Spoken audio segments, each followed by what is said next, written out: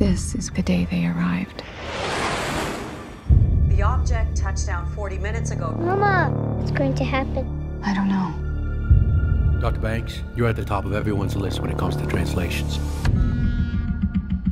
You hear any words?